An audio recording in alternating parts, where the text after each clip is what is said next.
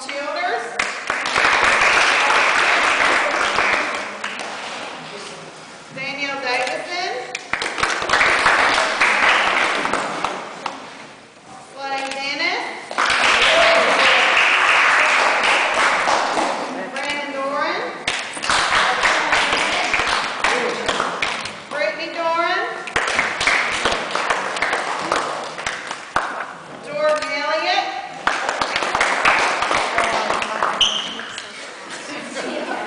stop playing.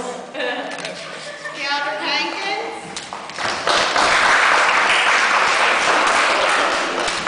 Emma Harden.